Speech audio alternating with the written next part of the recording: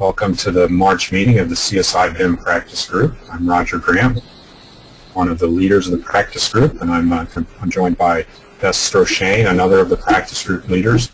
We'll be getting started with Beth's presentation in just a moment. Here's our, uh, here's our outline for the day. Beth is going to be continuing on the theme that we've had of looking at uh, specification authoring tools and how they work with building information model authoring tools. We had a general presentation on that topic by Beth, if you'll remember, back in our January session.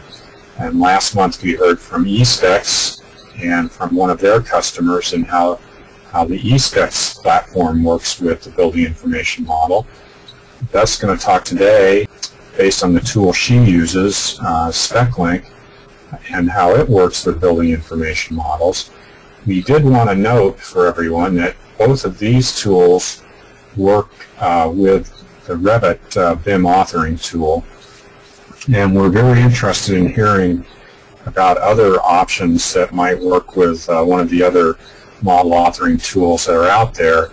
So if anyone in the audience listening in uh, does use a tool that works with uh, Graphisoft or Bentley, uh, we'd like to hear from you so that we could uh, maybe invite you to make a presentation on that topic in the future.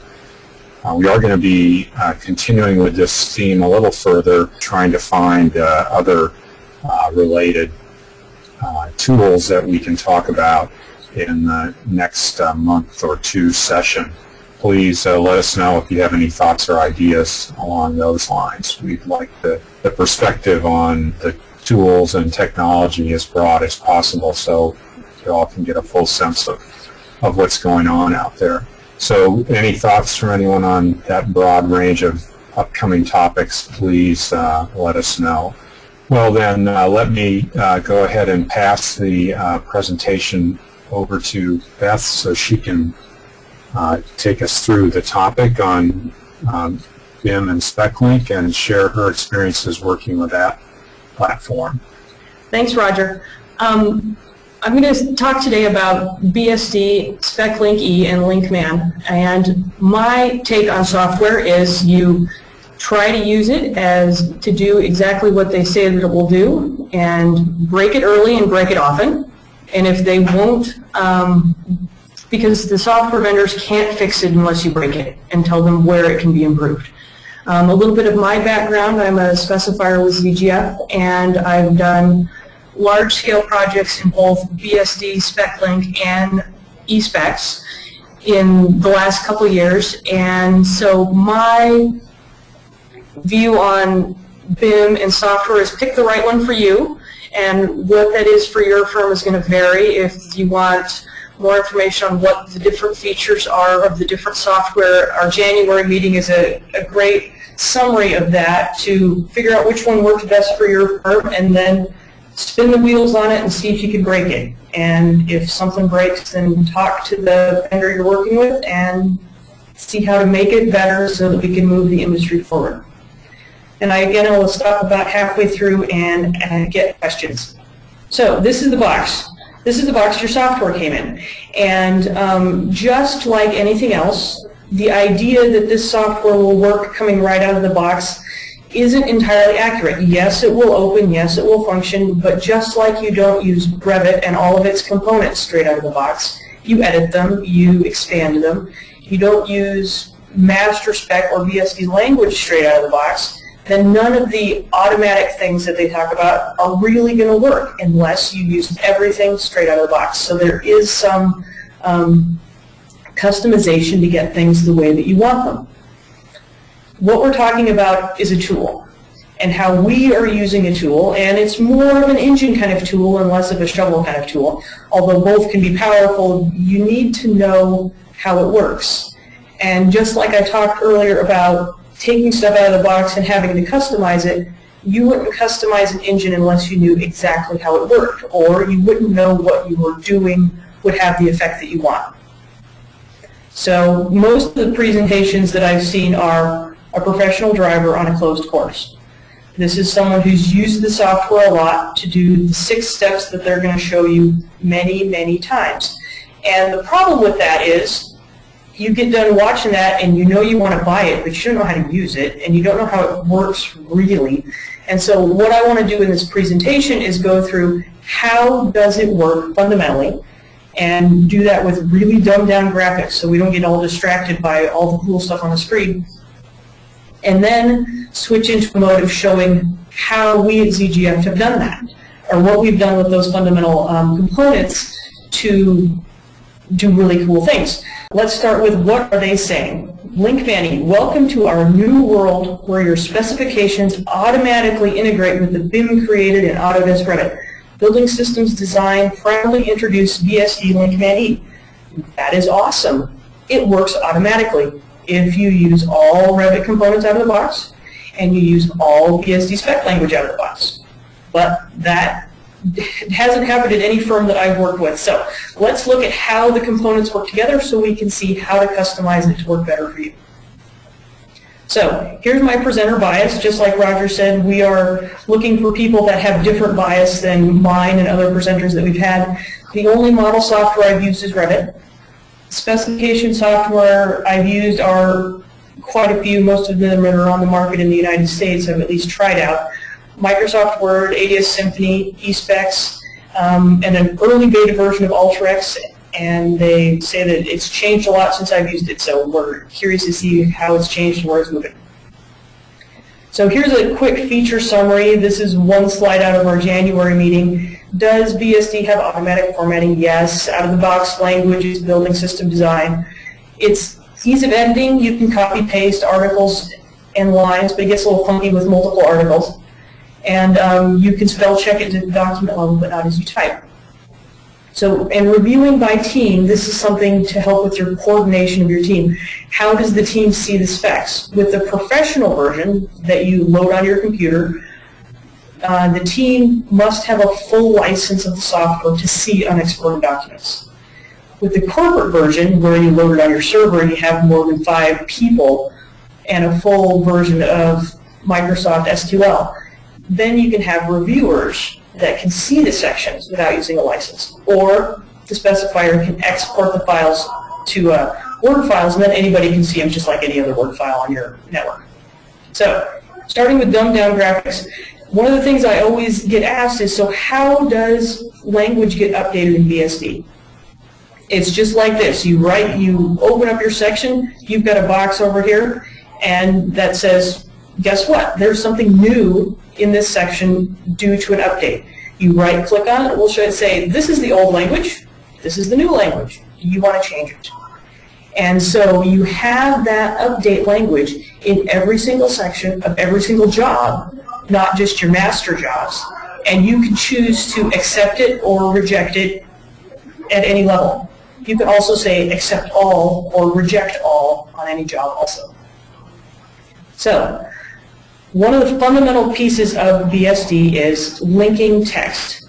So just like this, here's three spec sections with part one, two, and three.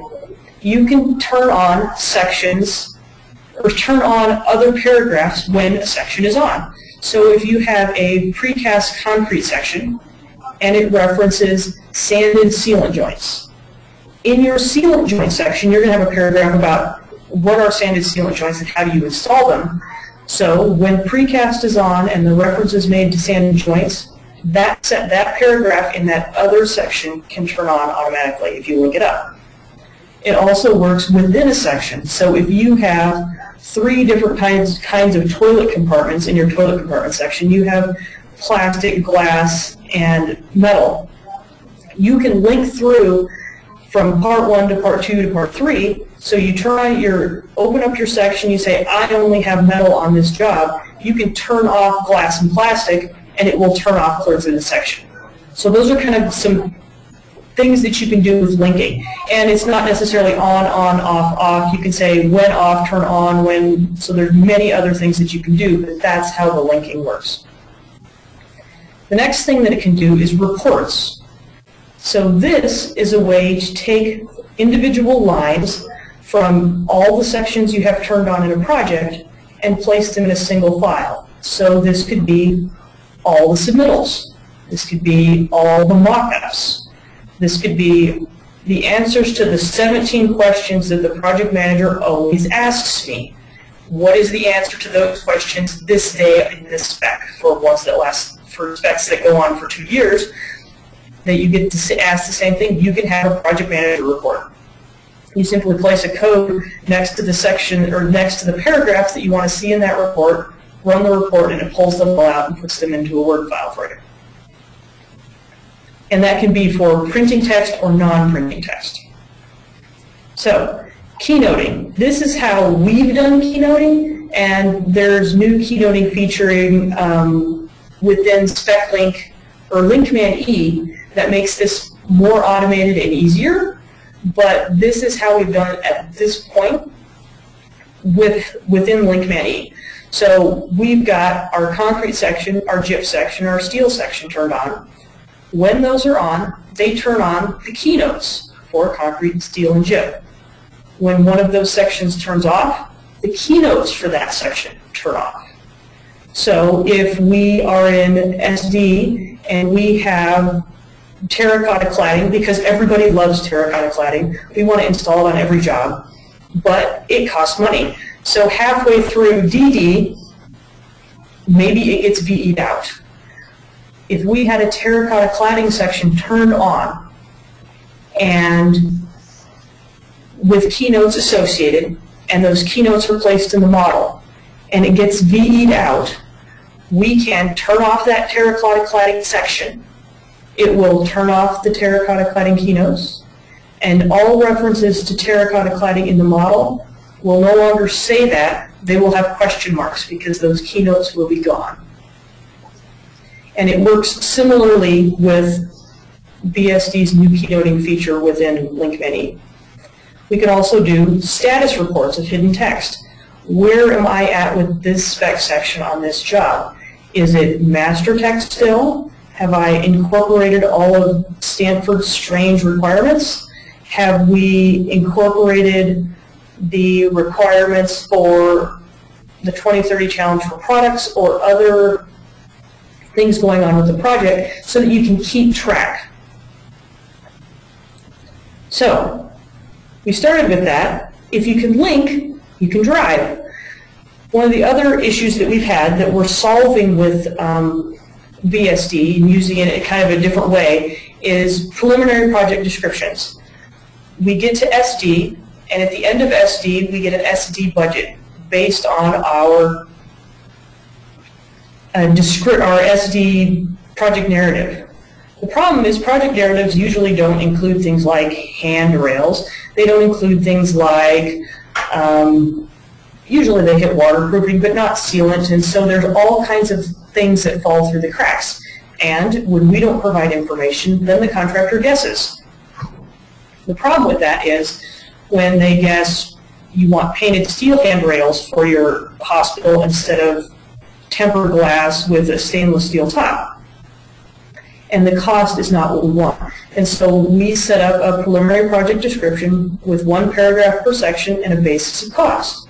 So even if it's not the right basis of design or the basis of design is changing within SD because it is, um, we'll have enough cost captured in the SD estimate to move forward in the way that we want to. So we set up the preliminary project description and then we've used that to drive the technical sections when our concrete paragraph in our preliminary project description is turned on, then our concrete paragraph, our concrete technical section is turned on. It's like, wow, that's not so cool, but what we can do with it because they turn on is kind of the cool part. So putting it together, our PPD turns on our concrete section, which then turns on our keynote report and our other reports that we have done. And we can see what our status is. So at the end of SD, we could have all of our technical sections turned on and be able to run informational reports out of them.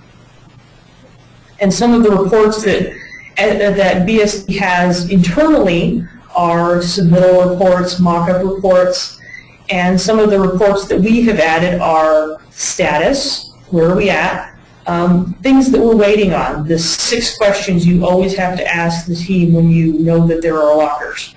The um, whether or not we need two-ply or three-ply roofing.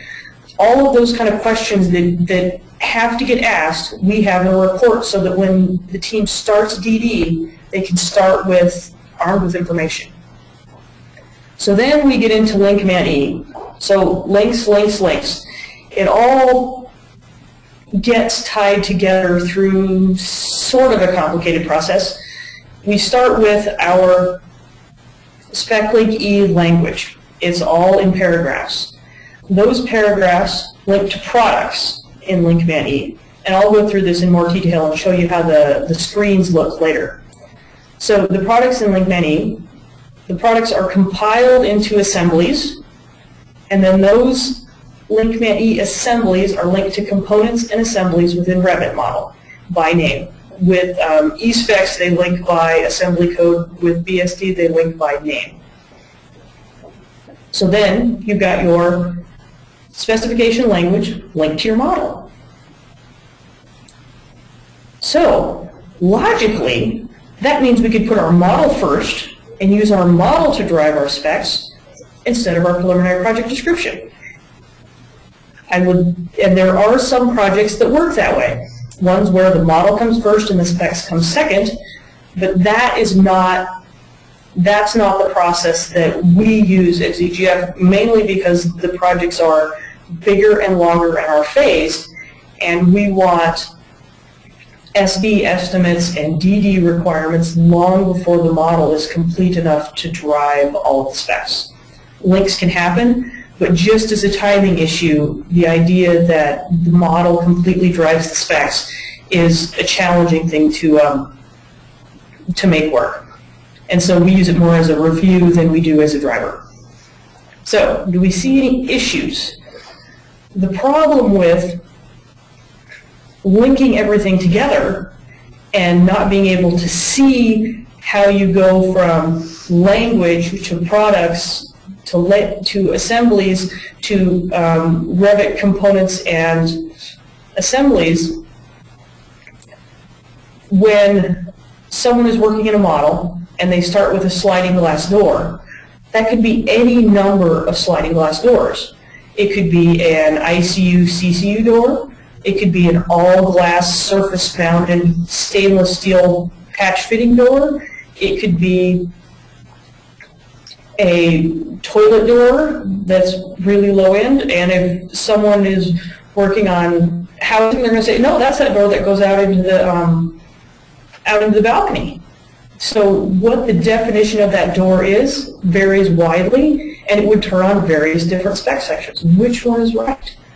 The other challenge with this is we graphically stretch and squish things. So we start with a sliding glass door. We get it all linked up for our shell and core job. We are golden. We get to our next job, and it's TI that's in the middle of the hospital. So we're going to take the sliding glass door, and we don't have a pharmacy window, but if I squish this um, sliding glass door down, it will graphically look like a pharmacy window. It'll be all great. The problem is, is the links will still be linked to the exterior enclosure.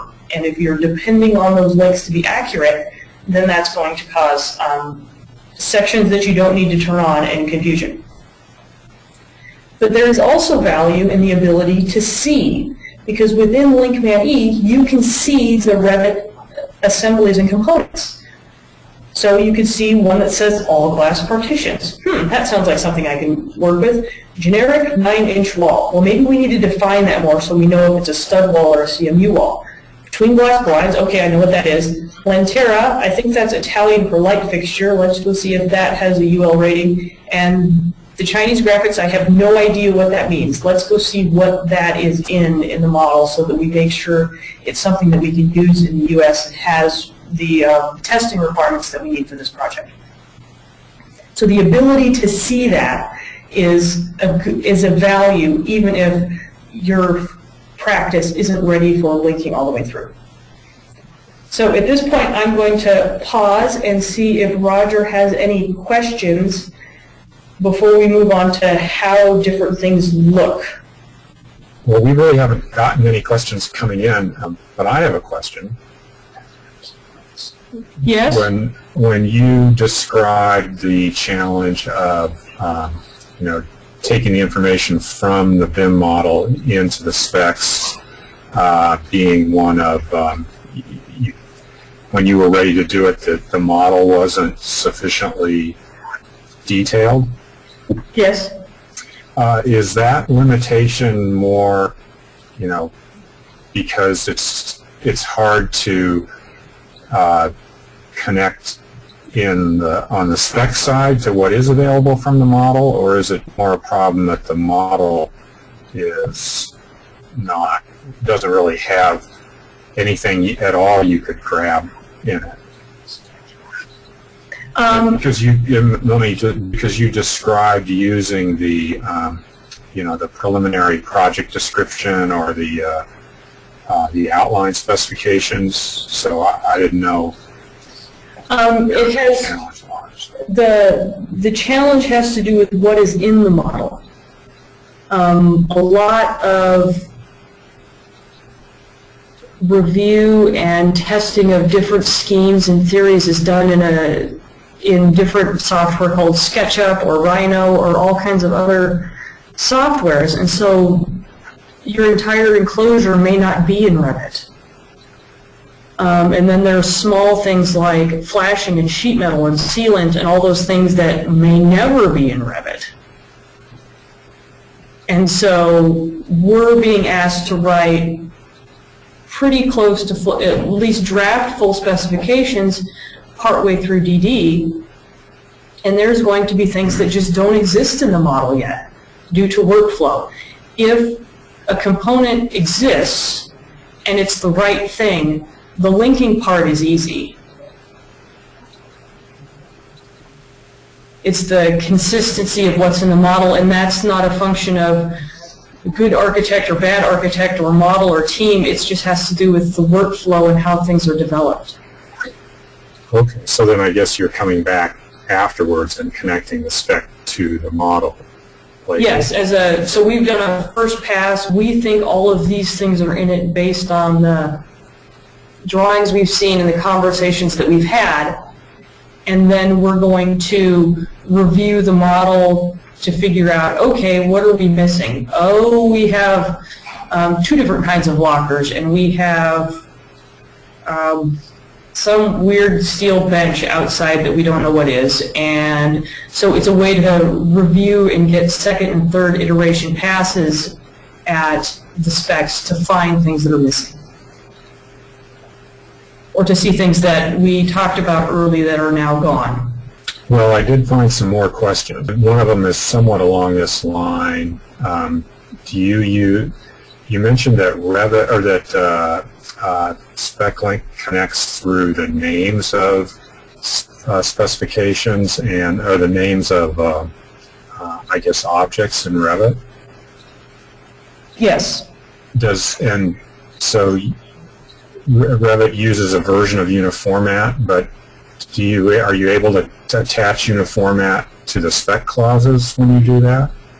Um, the PPD document that we invented, it's our file that we decided how it would work, is organized in uniformat. The, um, the specifica, or the components in Revit are organized by families and another word that I'm not bringing to my mind right at this moment, parts and families. And how those parts and families are organized is, it's kind of uniformat based out of the box with Revit, and then each firm can alter it how they see fit. And so that's where the connection is made. Yes, through the name of it. Mm-hmm.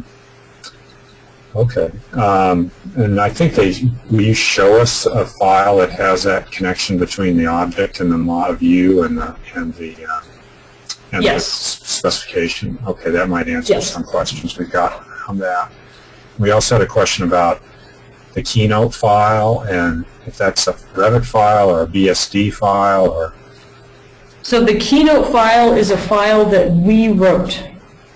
It's, uh, and the way that Revit reads Keynote files is it's a text file and it's really linear about how you have to organize it. And if you open up the one that comes out of the box with Revit, you can see how it has to be organized. It has to be division, and then it has to be um, the name of the division, and then the section number, and then it has to be all these different organizational patterns that it has to be in. And we created a BSD file that is organized in that way.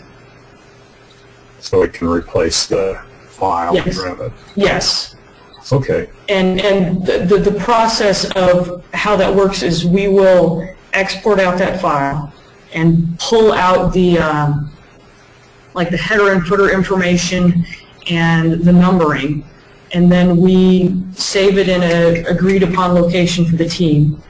And within Revit, you point your Revit model to that file as your Keynote file, and then that's what the Revit model will see. And as we change the Keynote file, we just replace the old file, and it will be seen in Revit as soon as we replace it. Which is how the terracotta cladding disappears works. Got it. New text file doesn't have that. Let me let you keep going. Alrighty?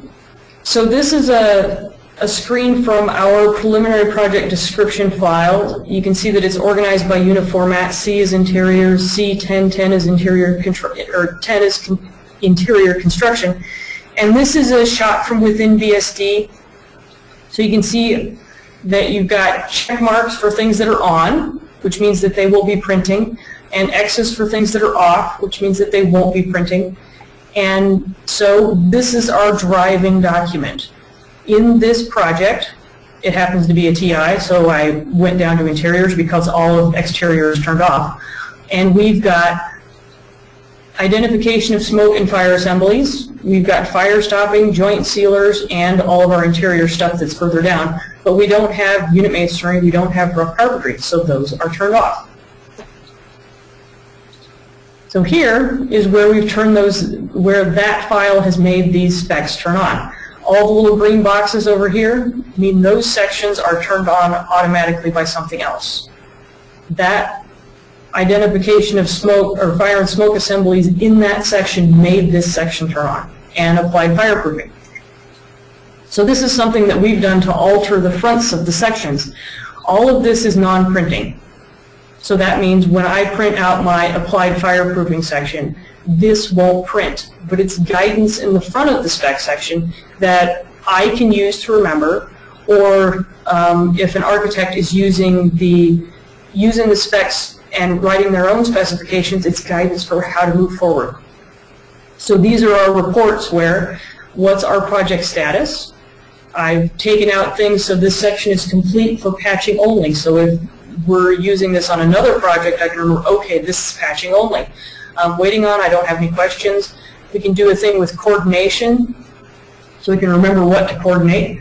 And also sustainable materials, if we have information available. And two things that are starting to hit and we're figuring out how to work with are the 2030 Challenge for Products and carbon equivalents. How do we keep track of what's baseline? How do we keep track of what we've learned? We've put this language in the front of our specs that isn't um, available in reporting yet because baseline hasn't been set, but we're set to react to that when it happens. The other is product contents, things that are going to be on the red list that we need to watch for in this section. So if we've got um, carpet tile, there'll be something in here that says watch for the red list component vinyl because it is in the backing or is potentially in the backing. So when people are working with this file, they know what to look for. The advantage of that is they can get a report at the beginning of DD with things to watch for when they're selecting materials. So here's a report that's run. So he, this pulls the sustainable design, here we go, the sustainable material information line for all the spec sections within that project, and only the ones that are turned on. So you don't have all 500 sections that your firm uses, only the 25 that happen to be in this TI.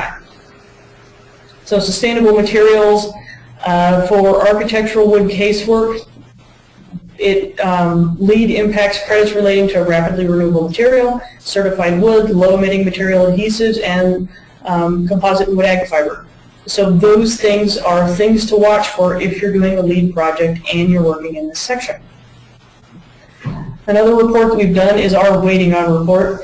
And so with this, waiting on resilient flooring, colors to match existing are discontinued. Select new color. So that we can use this report when we're talking to the client or when we're talking to the project team about what are we still waiting on and what answers do we need for questions. Incomplete unless the client wants changes. Things like, are we providing any accessories on this project or is the client? This is a small TI. At a hospital where they often provide all the, the uh, accessories. This is our keynote file. You can see Division 6, this is what it is, and this is the form that it has to take, or um, it will cause Revit to error. And so this is some manual effort to get this to work, and or you can do it much easier with uh, the new BSD keynoting feature. So now we've started DD.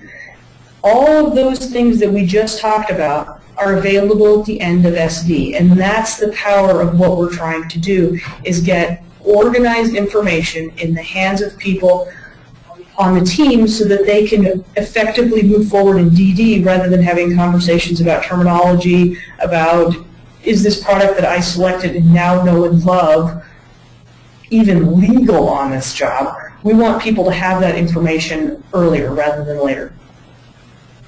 So now we're into LinkMan and what that looks like. So model contents are reviewed. This is the Revit project tab, and LinkMan is set up with tabs with different views of things that you're looking at. so this is a look within the Revit model. So we've got doors. The ones that are green are all linked up. The ones that are, um, oh, excuse me, I was wrong. The ones that are green mean they exist in the model. The ones that are green with a check mark means they exist in the model and they're linked to eSpecs language, or not eSpecs language, goodness, BSD SpecLink language. And the other interesting column is number. So you can get how many double flush doors of that size are in the project. How many of those? Oh, there's eight of these, eight overhead rolling doors. What kind of job is this? Um, so you can see what's in the model. So there is value in this, even if you don't end up linking through, you can see what's in your model. And you can filter so that you can only see things that actually exist, as opposed to everything that got loaded in the model, because you can load you can load components within your model, but not place them on sheets. And so if they're loaded in the model, you will see them in here and if they're placed on sheets, they will have a green box and you can sort by that and only see those. Keynotes too. This is the Keynote tab which will show you which ones are in the model and how they read and what you're looking at. And this will help you manage them in a more straightforward manner than the way that we've done it. Um, if managing the text file and all of its idiosyncrasies is not something that you're really excited about doing. So assemblies are built and linked to Revit. LinkMan E has assemblies, and the way that I found that works really great is having your tabs split horizontally because the way that you build assemblies or the way that you link assemblies together is you say, okay, here's my Revit thing, and I'm going to link it. I think you hold down control and drag and drop. You'll have to check in with BSD. I don't remember if control's the right key. Um, and you link it together. So it's a drag and drop kind of link process. So once you get your assemblies in LinkMan, linked to your assemblies and components in Revit, you have to put products in your assemblies, and this is like putting products or anything else in a bucket. So your assemblies are your bucket, what products are going in them. If you've got a revolving door would be really easy because you're probably only going to have one product in your revolving door assembly. a revolving door. But you're going to have other products like um, like automatic entrances. You may have the actuator in a different place than the door. And so your automatic entrance assembly will have products for actuator and products for door. And you drag them off of the, you drag your products into your assemblies. So then your products are linked to your language in BSD, SpecLink. So this is the section number and ID, and this is the line of that section that the text exists in. And you link these products, or this language, to these products. So then you've got your Revit model, or your Revit components and assemblies linked to your SpecLink component, or assemblies, which then are filled by SpecLink products, and the SpecLink products are linked to your specification language. And then you could open up the Revit thing again and review for what still has missing links. You can see what in Revit is missing. So like Roger asked the question of what would you use this for? And this is reviewing, do we have walkers in our model that I don't have specified? Do we have toilet accessories? Do we have benches? Do we have um, towel rods and other things that are within the model that I haven't found yet. Another kind of door. Do we have overhead grills? Do we have bifold doors? So all of those things that you're trying to make sure you have everything, this is a way within the Revit tab, I'm sorry I cut off the tab, this is the Revit tab, that you can review what's in Revit. And reviewing for missing links, no it's not this guy, although I'm very curious about all those links. So you go through that process once and then you repeat it and you repeat it and you repeat it until you're done with the job. And the reason that repeat process keeps happening is because the model keeps evolving. When you get from, at the end of SD, your model within Revit might be very conceptual. And then halfway through DD, you run this process again, and you get a lot more content and do a lot more review and add more specifications. And then when you get clear through DD, you run another repeat to see what is now in the model that you don't have specified yet, what is in your specs that no longer exists in the model so that you can keep the process going.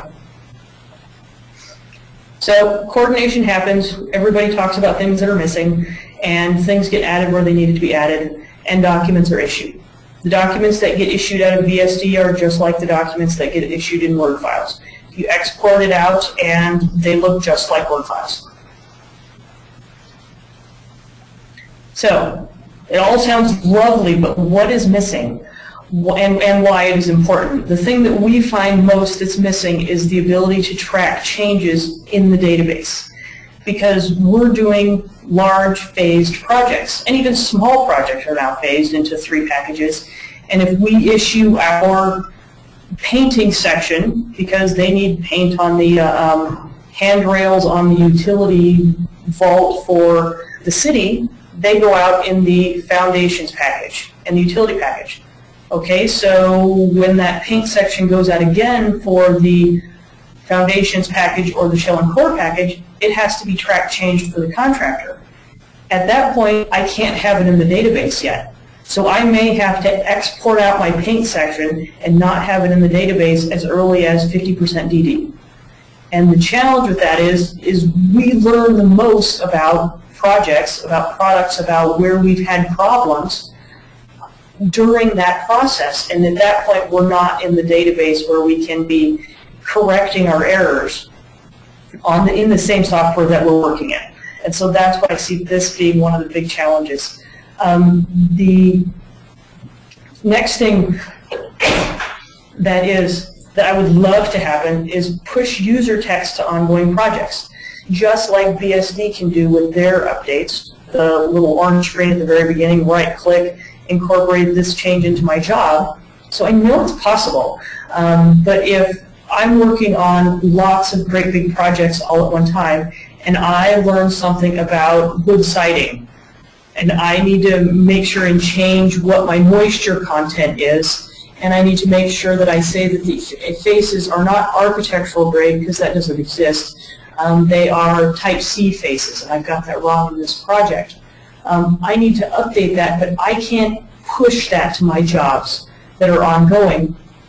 I'll try to remember all of them that have that, and I'll update it in my master. But the challenge is, is what about the ones that I miss? And so if I could push that and say, okay, all of the, the information from in-house learning is going to be a purple box, then when I was going through those sections at the end of CDs, I could check out the purple boxes to see if they applied to my job, just like I could check out the BSD updates to see if they apply to my job before it goes out the door. So that's something I would love. The other thing is export something that contractors can use. I'm not entirely sure what that is yet. Um, I know that I've been asked for submittal reports that BSD does that is great. Um, I've been asked for mock-up reports, and that's great. As far as being able to export um, a list of products, being able to let export a list of manufacturers or something like that, and I'm making up those examples because I'm not sure what it is, but being able to see different parts of the database and have control over some of the report writing because the version that we're using, the uh, um, corporate version, is a full license of Microsoft SQL, which is a database software that lots of big things run on. So I know that there's user interfaces to interact with it. Um, and so being able to have more freedom with that, I think would be really good in the future, but I don't have any great suggestions that are really concrete at this point. Now I'm going to ask if there's any questions or if everybody's now ready to drive and see what they can uh, do with the different software. And if you want the uh, professional driver on the closed course version, um, Alex Bear is really great at giving that presentation. And um, he's also really great at saying, pause, can you explain this part to me again? Because I do that all the time. And my goal with this is not that everyone thinks that BSD is great because that's the software that I use. It has to do with figuring out which software works best for the practice that you have, and those are going to vary, making the right choice, and then pushing the software to its limits so that we can make it better. So with that, I'll ask you, is there any more questions that people have? One question is, do you have to have LinkMan to do keynoting, or can you do it just with SpecLink? The way that we have done keynoting is just with SpecLink. But you have to be really anal and really linear. Um, but it can be done, and that's how we are doing it. Um, if you want to have software to help you manage the process, the software to help you manage it is in LinkMan. And I think is it also true that the keynotes in Revit use master format numbers, but the but you're generally driving it from that the families are uniformat. So does the uh, I mean I guess the Revit assigns those keynote numbers that showed up in there, right? Um, if you use out-of-the-box components, then they have Revit keynote numbers in them, potentially. I mean, 9-inch generic wall doesn't have any keynote in it because it's not anything, really. Um, some of the out-of-the-box components do have keynote numbers in them. And those are um, e-spec, or those are master spec centric. There's a master spec number and a dot and then an alpha numeric delineator. And those are organized by master format. So I'll, I'll pitch in with a little extra comment. This is Mark Chavez. The, remember, when you're keynoting in Revit, you're pointing to, usually, you're pointing not the entire assembly, but the individual components. So when you're drawing a detail and you brought up your uh, brick veneer wall assembly, when you touch the brick, it goes to the keynote list and it grabs the keynote for the brick. It's not grabbing a keynote for the assembly.